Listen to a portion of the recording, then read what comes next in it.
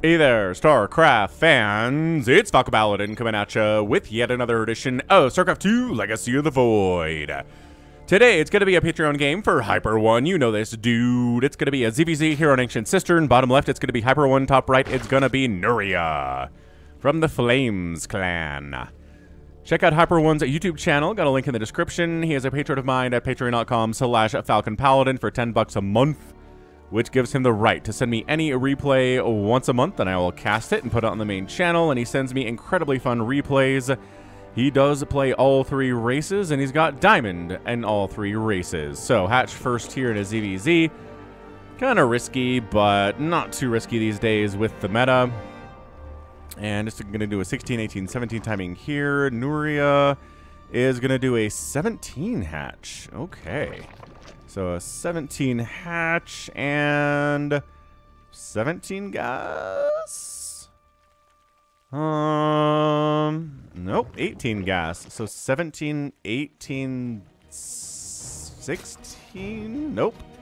17, 17, and yeah, at 17. Okay. Interesting. So, pool started after Hyper Ones, which means that he's up in workers here, Nuria. And he should have lings to defend if Hyper One is going to be aggressive with his worker, or his workers, his lings. Hmm. Just playing the meta here is Nuria.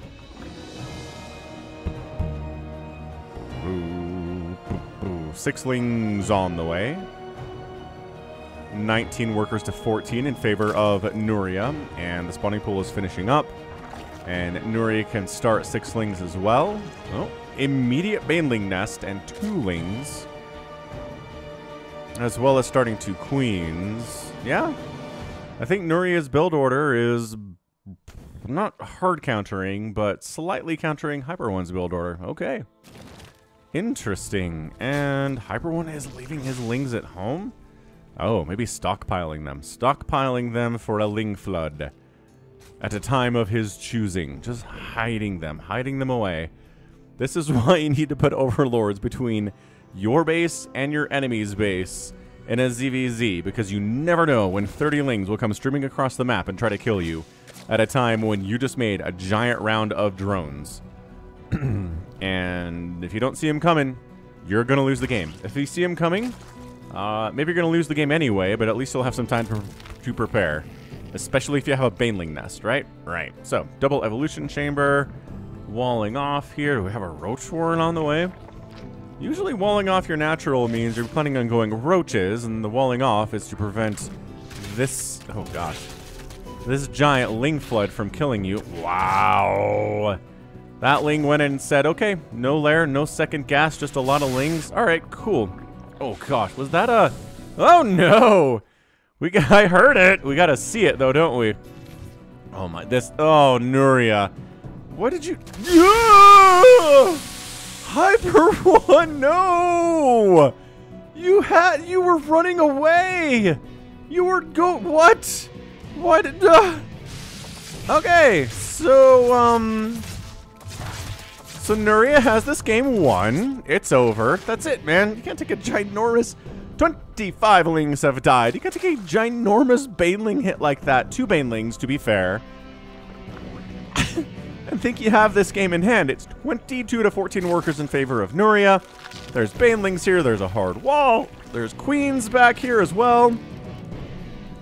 Hyper One is kind of chasing bad money after good here, but he is droning back up a little bit. Roach Warren finally starts for Nuria. I just feel like you want to start the Warren a little bit sooner, but look, man, this isn't Dark versus Reynor or anything like that, right? These players aren't doing pro timings. They're not going to be a super crisp with what they're up to. Oh my gosh, okay. Just sending Banes out to bait here. Oh, oh, that was actually not what you want to do. You don't want to aim move your Baneling. You want to move command your Baneling into a group of Lings and then hopefully detonate on the group of them. If you attack move with them and there's one Ling sitting there, then your Baneling will explode on one Ling, which is the least... Not the worst thing you can do with Banelings, but it's pretty bad. So yeah, I've played both these styles before, and I've won with them and lost with them. So yeah, man. How? Okay, again, that's another one ling for a baneling trade there. Not exactly what you want to be seeing. Uh, yeah, there you go. Pull those banelings back. Don't let them fire on single lings. That's exactly how you don't want to do this thing. Why are these banelings? Oh no! Two banelings exploded. Uh, if Hyper One can keep making amazing trades like this, he might actually be able to get back into this game. Oh my gosh, that's another one. Nuria! Nuria, you were doing so well, Nuria. Now it's kind of falling apart on you a little bit. Your Baneling control is struggling. Oh, you let Toolings inside the house, too. Alright, they're going to see the lack of a lair. They're going to see no second gas there. There's not even a gas at the second base either. So if you're trying to make roaches, good luck with that. 31 to 28 workers. Hyper One has been droning up behind this a little bit at least.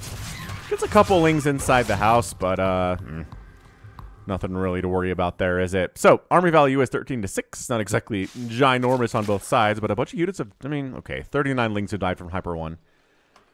Technically, only five units have died from Nuria, but those Banelings exploding, you know, one at a time on a single Zergling, that is a unit lost, man, and that is gas, too which gas is incredibly important in ZVZ and just in Zer for Zergs in particular. So, Roach is out from Hyper One, throwing up a spine to deal with potential incoming attacks. Nuria seems to be pulling back, though. Spreading creep, getting spines of his own up, and double expanding. Nuria, double extent expanding down the right side. Okay. That's what we're here for. God, that Baneling hit. I mean, there are a lot of... Oop, smart. Hyper One canceled his once he recognized there was no attack forthcoming. I like that play. But man, a lot of players would just lose 25 lings to that Baneling hit and just GG. Just be like, I'm going to play another game now, thanks, bye. But not Hyper One. Hyper One says, no, I can do this. I can make some good trades. I can catch up in workers, which he did. He's still down in army value, which is not ideal.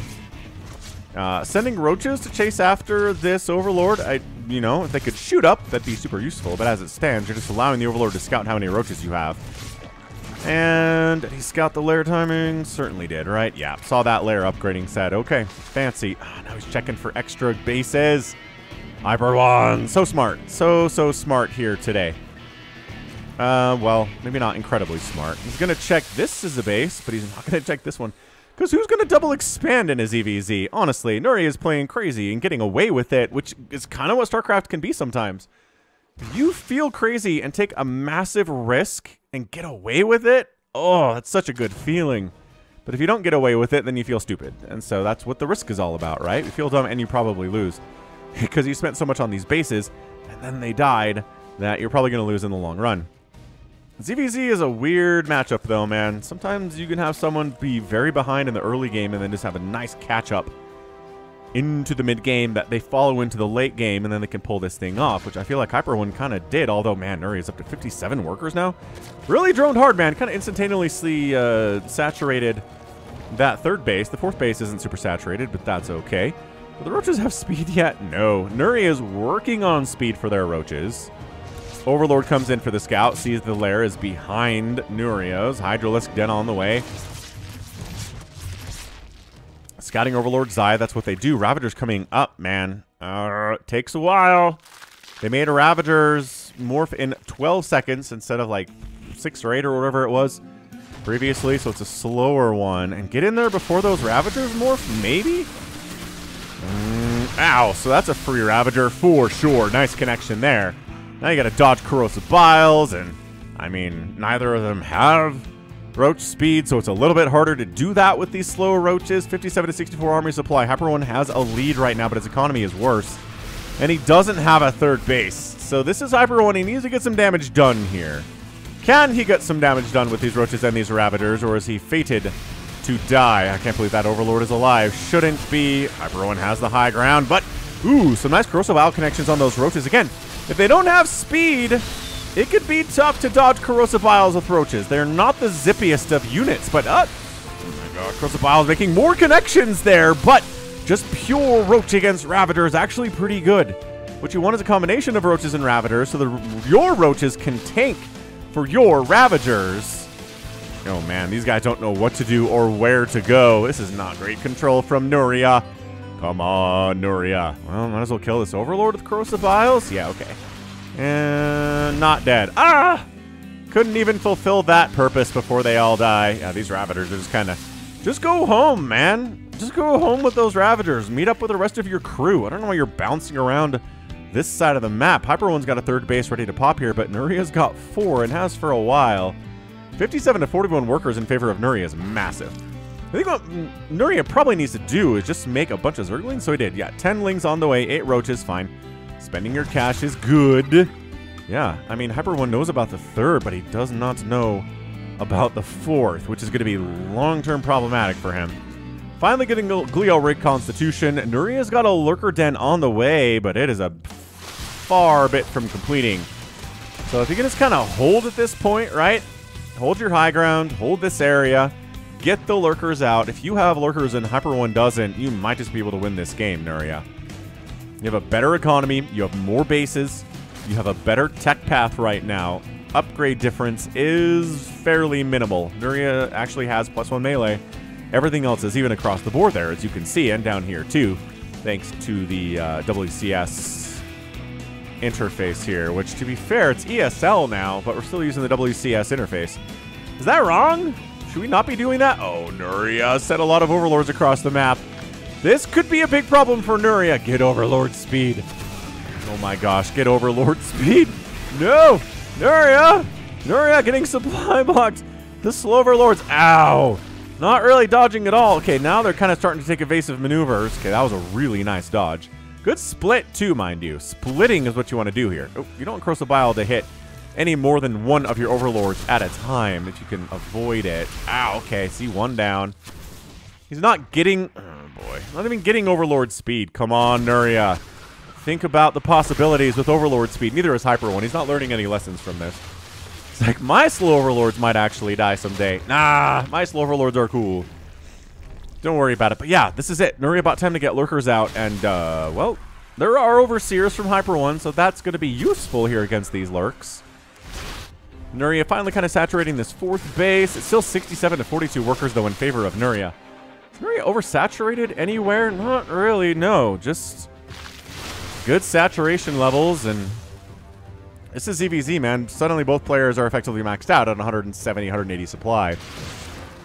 All right, Hyper One has a 2-2 upgrade versus a 1-1 upgrade here, but Lurkers are amazing.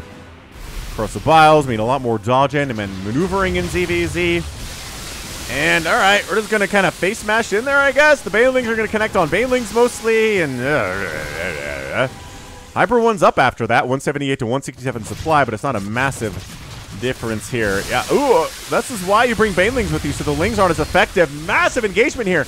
Yeah, just sort of target firing the hatch a little bit. The drones get pulled off, but that is a dead hatch unless Hyper One chooses not to finish it off which he does before he retreats. Smartly done. Thinking that is his enemy's only other base and still not knowing that this exists. Oh boy, that's problematic. Now, this is where lurkers could be good in a counterattack style position. You position lurkers here, much more difficult. Oh, is he going to scout it? He does. He's like, ah, there's a fourth base since when, says Hyper One, tearing and gnashing his teeth because tearing his hair and gnashing his teeth is where I'm going to go with that one. Mm-hmm. Mm-hmm. Mm-hmm. Okay, well, anybody gonna get a Nidus? I feel like a Nidus is fairly common at this stage of a of a ZVZ. Hyper One throwing up his own Hydra Den, recognizing if you don't have lurkers and your enemy has lurkers, you're just gonna have a bad time. Historically, it's how it works. It's how it's always worked.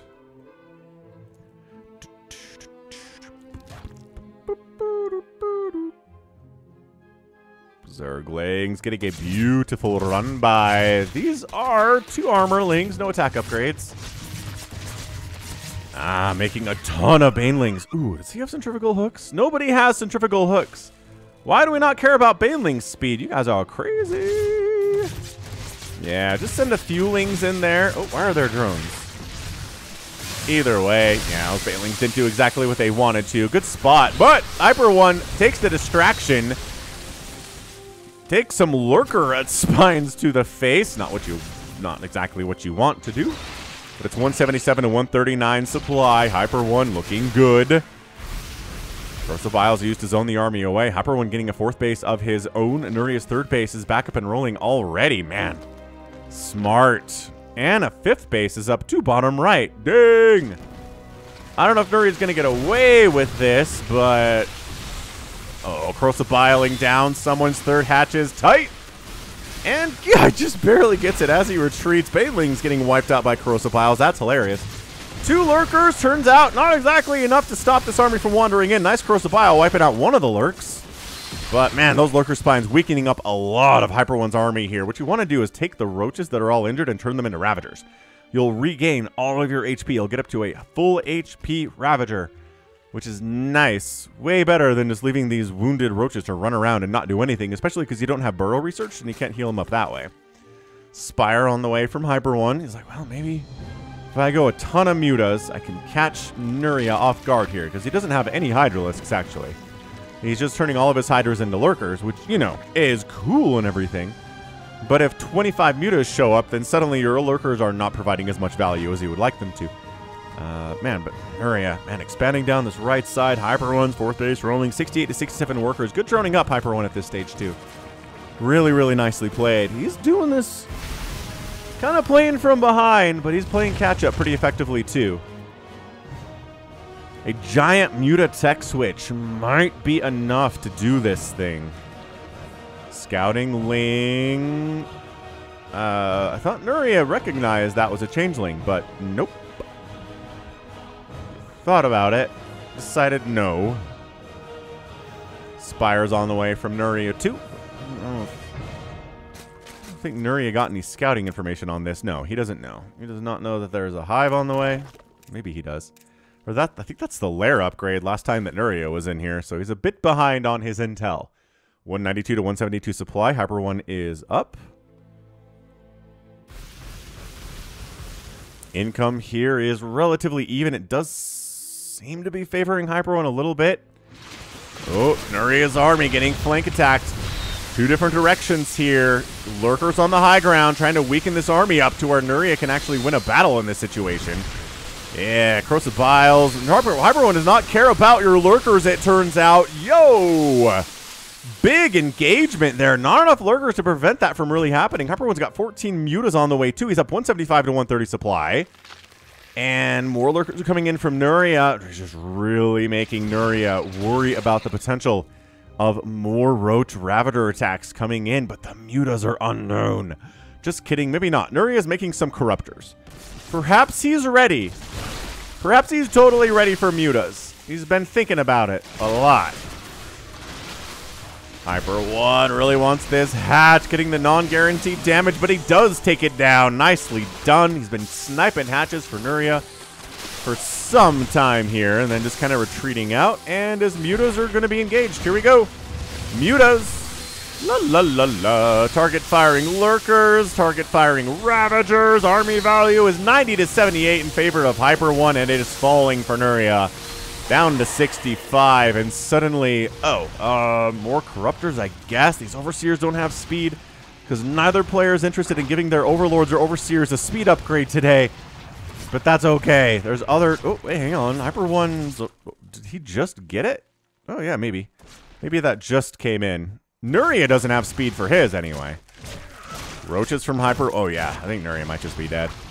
What? Do you have the answer to the surprise 25 Mutalisks? No, you don't. You have two Corruptors, handful of Queens. The safety spore down here, maybe. You're into that sort of thing. The Mutas are killing Overlords, but 110 to 68 total army supply. It is looking tough. Looking tough to tough. Rough to tough here. Corruptors are pretty good against mutas, but not when you're outnumbered 25 to 1. And that is a Corruptor death sound right on cue. And that's a GG! Nuria taps out and Hyper One is the winner with his surprise Mutalisks. Ah, that was so good. That was such a good game. Great back and forth. Again, I do feel like most players, if they lose 25 lings to a Baneling hit at the first start of the game, they're just going to be like, well, guess that's that. Uh, we'll just start another ladder game here. It'll be fine. But no, not Hyper One. He kept fighting. He went on put the pressure on Nuria, training singlelings for banelings a few times, making Nuria not feel safe at home. Nuria out expanded Hyper One, but Hyper One was able to just have better control in his fights. There weren't quite enough lurkers from Nuria to dissuade giant Roach Ravager attacks into Nuria's positions. That was a massive problem. 17 lurkers went down, four hatcheries died, 26,000 total resources were lost from Nuria compared to only 17 from Hyper One. Yeah, that's crazy. That is some crazy impressive impressive cost efficiency for a ZVZ for sure. 34 drones died from Nuri, not a single drone died from Hyper One. That's a huge deal if you're looking for reasons why he won. That's a big one. So, yeah. And then the surprise mutas at the end. That was awesome. I mean, gotta say, I've definitely had games like that myself where I'm just, I'm stuck on Roach Ravager, sprinkling some lurkers in, and then bam, 30 mutas show up, and you're like, ah, well, yes, I can't handle that. GG, good sir. And that's what Nuria said. GG'd. Hyper One tapped out, and Hyper One goes away with the win. Nicely done. Pretty fun ZVZ. Pretty nice back and forth for sure. So neat stuff, and that's going to be it from me. This has been Falcon Paladin coming at you with yet another edition of StarCraft 2 Legacy of the Void and a Patreon cast for Hyper One. Go ahead, hit that like button, hit that subscribe if you like what you saw what you heard today. You can also catch me on Twitter, Facebook, Patreon, and Twitch all at slash Falcon Paladin. And until next time, as always, thank you so much for watching, and you take care of yourself.